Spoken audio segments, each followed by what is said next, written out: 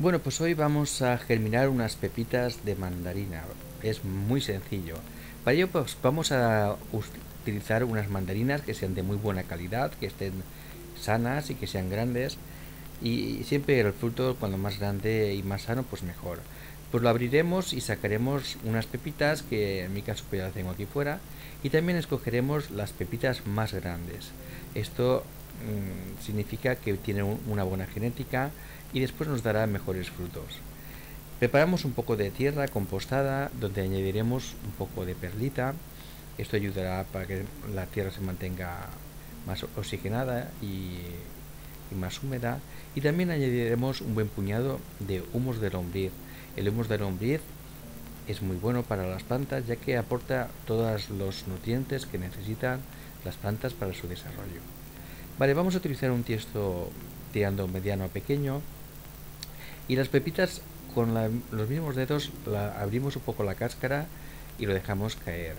Esto nos ayudará a que germine un poco más pronto y que eh, no tenga tanta dificultad para germinar. Lo cubrimos con un poco de tierra y damos un buen regado. Y esto lo llevaremos a un sitio cálido. En mi caso pues utilizo la, la galería y es importante que mientras está germinando que no pierda humedad.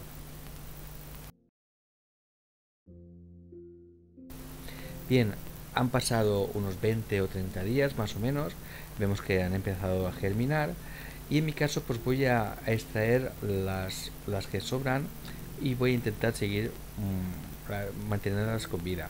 Bueno, pues han pasado otros 15 o 20 días, como vemos la planta, la, mandarina, el árbol de, de naranjo ha crecido bastante.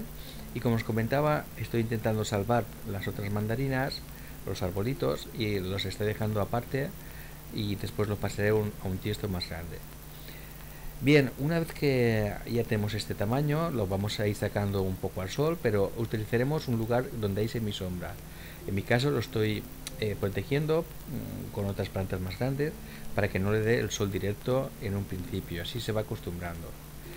Pues esto es todo, ahora os dejaré unos enlaces de cómo hacer otro tipo de germinaciones.